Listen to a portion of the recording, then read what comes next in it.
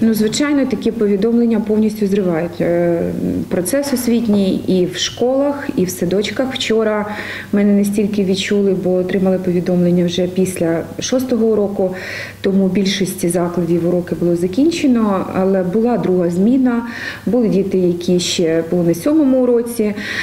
Вихованці дошкільних навчальних закладів в них також не треба недооцінювати саме освітній процес, бо у дітей є розвиваючі заняття, є е, певний план на е, навчальний день, і повністю е, цей процес нівельований. Тобто, е, ну воно не просто впливає, воно зриває навчальний процес. Це, мабуть, вже розлючення можна сказати, тому що дійсно ми розуміємо, коли маленьких дітей ми змушені піднімати в обідній сон, виводити їх одягати, виводити на вулицю.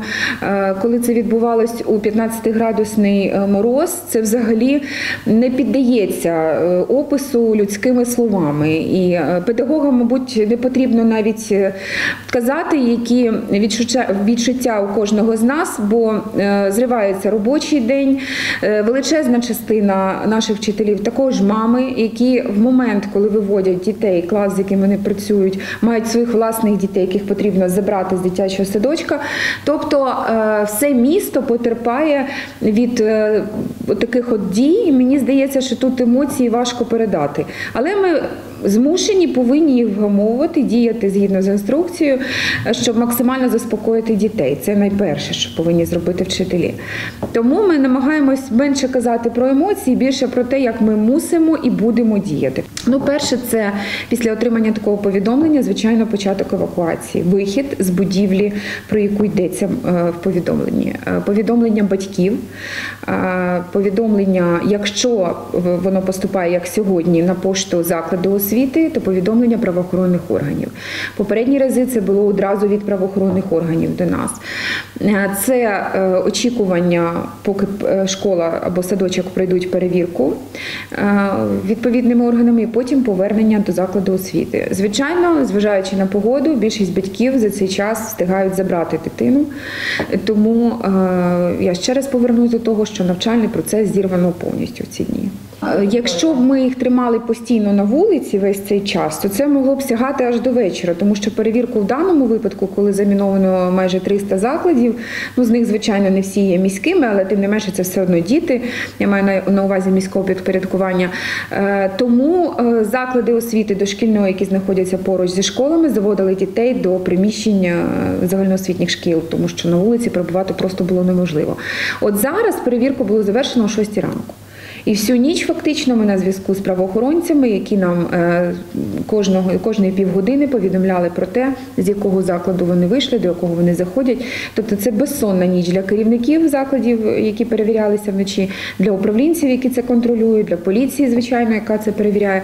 Ну це продовження ускладнень від даної ситуації. Тому дітей тримати на вулиці, звичайно, 2-3 години в мороз неможливо. Е, Все-таки хочу відмітити, що в нас у більшості садочків дітей, дітей не лишалося через годину. Тобто більшість батьків, майже всі, можна сказати, дітей забирали. І я розумію при цьому, і сама являючись керівником е, установи, де є діти у працівників, скільки підприємств, установ е, в даній ситуації були задіяні. Мені здається, що майже всі. 17-та школа, більше тисячі учнів. Е, Це е, Суворовський район, велика школа у спальному масиві. І е, сьогодні отримала повідомлення на електронну пошту саме закладу освіти. Терміново викликали поліцію, організували евакуацію дітей. Десь приблизно за 20 хвилин до нас вже приїхали працівники правоохоронних органів. Тому сьогодні ми багато і довго не очікували, мали можливість продовжити навчальний процес. Хоча маленьких ми все одно початкову школу ми рекомендуємо в таких ситуаціях відпускати додому, якщо батьки приходять за дітьми. Звичайно, що для дітей це також стрес. Тому ми зараз розпочинаємо. У нас вже була така акція, називаємо таким словом, але зараз є нагальна потреба. Розпочинаємо знову е, цикл бесід лекцій про те, як дитині себе поводити. Е, Звичайно, що навіть не е, в садочках найбільша проблема, бо там ще діти здебільшого не розуміють, чого їх евакуюють. Вони йдуть на прогулянку і емоційних якихось розладів небагато. А от що стосується учнів початкових, початкової школи, е, то там, звичайно, у нас є випадки, коли діти лякаються цієї ситуації. І е, дуже багато у нас вчора було повідомлень, таких емоційних від наших власних дітей про те, що у дитини мав бути гурток, якийсь вона її очікувала. Це ж перший день після локдауну, і діти мали зустрітися зі своїми друзями. Ну просто нелюдський вчинок. Департамент освіти повинен в в тако, в так, при такому повідомленні організувати чітке відпрацювання евакуації, повідомлення правоохоронців.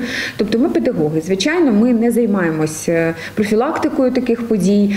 Але е, в даному випадку я впевнена, що це не діти, це дорослі ігри. І е, ну, відверто кажучи, те, е, на що налаштовують суспільство за допомогою таких е, подій, е, це в першу чергу пошук особи, на яку можна було б вилити негатив. Ми дуже багато зараз читаємо про правоохоронців, хоча вони ну, вночі не сплять для того, щоб відкрити наші заклади. Я не спеціаліст пошуковій справі, але дійсно фахівці пишуть, що коли такі мінування відбуваються за допомогою електронної пошти, це досить важка е, і кропітка праця. І ніхто не буде і не повинен нам розповідати про її особливості для того, щоб просто не зірвати цю роботу.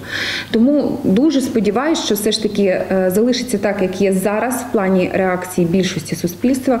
Люди дійсно обурені, люди дійсно переживають, але вони розуміють, що ця ситуація не повинна нас довести до якогось загального колапсу. Тобто школи, садочки повинні працювати, е, діти мають ходити до них, а ми повинні як освітяни реагувати правильно.